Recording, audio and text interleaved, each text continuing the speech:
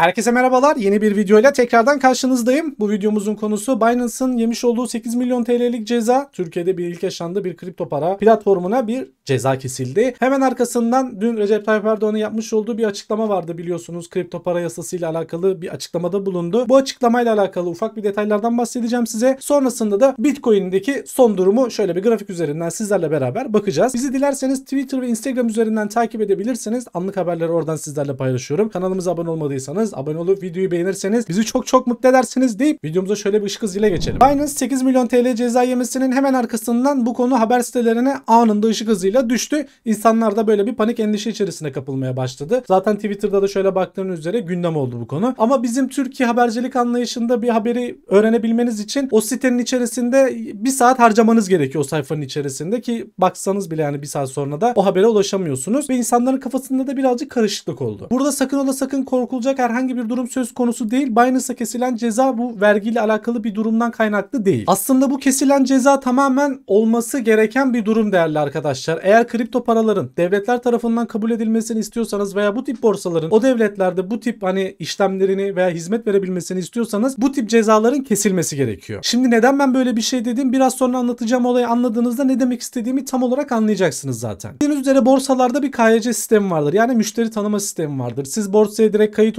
olduğunuzda hemen işte parayı yatırayım ben o parayı transfer edeyim diyemiyorsunuz. Neden? Çünkü borsanın öncelikle sizi tanıması gerekiyor. O yüzden sizin kimlik bilgilerinizde işte sizin fotoğrafınız çekilir gibi gibisinden bazı işlemler yapılır ve siz kendinizi o borsaya tanıtmış olursunuz. Kim olduğunuzu tanıtmış olursunuz. Bu tip işlemlerin yapılmasındaki nedenlerin en başında gelen şeylerden bir tanesi de kara para aklamayı önlemektir. Veya işte terör unsurlarına para mı gönderiliyor, ediliyor, bu adam bir para kaçırma işlemleri mi yapıyor gibi durumların kontrol edilmesi için bu sisteme entegre ediyorlar. Zaten daha öncelerinde Binance bu konuyla alakalı Amerika Birleşik Devletleri ile de başı ağrımıştı. Amerika Birleşik Devletleri bir şart koymuştu onlara. Eğer KYC'ni düzenlemezsen Amerika Birleşik Devletleri sınırları içerisinde hizmet veremezsin demişlerdi ve hatırlıyor musunuz bir güncellemeye gitti Binance. KYC'sinin yani müşteri tanıma sistemini değiştirdi. Normalde birinci doğrulamayı yaptığınızda alım satım ve transfer yapabiliyordunuz. Düşük miktarlarda yapabiliyordunuz. Ama artık dedi ki ikinci doğrulamayı yapman gerekiyor. Eğer ikinci doğrulamayı yapmazsan biz sana burada işlem yaptırmayız. Zaten bu sistemi güncellemesinin hemen arkasından Amerika Birleşik Devletleri'nde tekrardan hizmet vermeye başladı. Binance'da 8 milyon TL cezayı Türkiye'de bu yüzden yedi. Şimdi şöyle söyleyeyim ben size. Siz Binance TR'ye örnek vereyim 5 milyon TL bir para gönderiyorsunuz. Göndermiş olduğunuz bu para size hissettirilmeden Binance'daki yetkiliyle ve kolluk kuvvetleriyle ortaklaşa çalışıp sizi hemen bir denetime tabi tutuyorlar. Siz sanıyorsunuz ki ben rahatlıkla bu parayı gönderdim devlet beni ellemedi veya etmedi. Hayır buradaki olay tamamen yanlış. Bakın Binance TR'den bahsediyorum. Globalden bahsetmiyorum paranız sisteme yüklü miktarda gibi paranız sisteme girdiği andan itibaren siz denetime tabi tutulursunuz. Fakat bu olay yerel borsalarda tam olarak böyle değil. Çünkü yerel borsaların birkaç tane e, genel olarak aslında şikayetlerinden bir tanesi şu. Bugün bir yerel borsanın bir tanesine 100 bin lira veya 200 bin lira bir para gönderdiğinizde anında paranız şüpheli işlem olarak gösteriliyor ve direkt bloke ediliyor. Bunu hatta şöyle birazcık araştırma yaptığınızda şikayetlerden anlayabilirsiniz. Ama Binance TR tarafında bu durum böyle değil. Neden? Çünkü size hissettirmeden yani müşteriyi rahatsız etmeden bu durumlar böyle birazcık detaylı şekilde inceleniyor.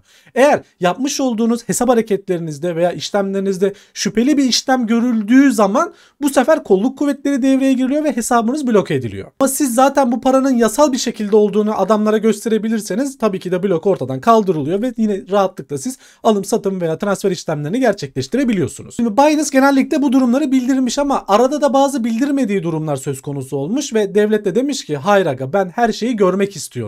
Yani bana arada bunu bunu kaçıramazsın deyip cezayı yapıştırmış. Aslında bu bir nevi iyi bir şey. Neden? Karşı tarafı yani Binance'ı birazcık toparlanmasına neden olur. Yani kendisine bir gelmesine neden olur. Demek ki ilerleyen zamanlarda biz bilgiyi vermezsek tekrardan ceza yiyeceğiz. Şimdi gelelim kripto para yasasına. Bildiğiniz üzere bir açıklama yapıldı. Tasarı hazır. Sadece meclise sunulacak. Oradan onayı bekleniyor diye. Hemen tabi burada yine kafalarımızda soru işaretleri oluşmaya başladı.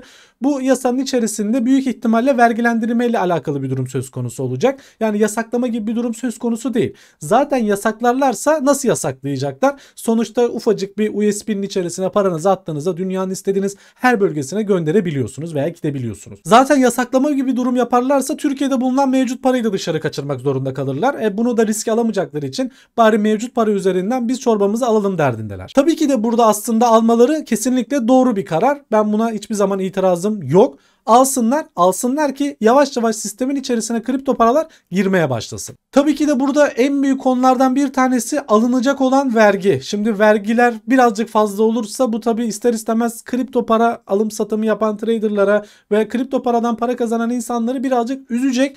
Yani inşallah bu vergilendirme çok fazla olmaz. Hatta bununla alakalı birazcık böyle şeyler de yapılır, indirimler de yapılır ki dışarıdaki para bari Türkiye'ye girsin. Çünkü biliyorsunuz Amerika Birleşik Devletleri %40'larda %50'lerde bir vergilendirmeden bahsediyor. Eğer böyle bir rakam Türkiye içerisinde konuşulursa vah halimiz o zaman. Gelelim Bitcoin'imize. Bitcoin'imizde sizlere yeşil bir hat belirlemiştik biliyorsunuz. Bu yeşil hattımızın üzerine atsaydı çok çok çok olumlu şekilde konuşmaya başlayabilirdik. Fakat kapanışları o yeşil hattımızın üzerine getiremedi ve o yeşil hattımızdan bir red yedi. Şu an için çok fazla umutsuzluğa kapılmanıza gerek yok.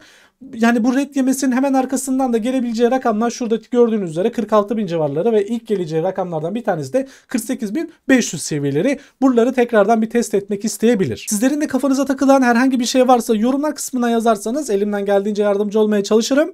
Bir sonraki videoda görüşmek üzere. Hoşçakalın. Kendinize çok iyi bakın.